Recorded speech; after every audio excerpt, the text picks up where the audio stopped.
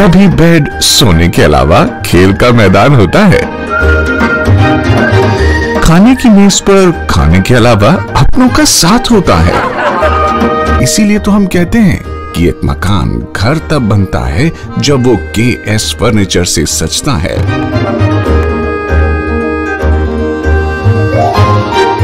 रिश्तों की मिठास का एहसास के एस फर्नीचर के साथ।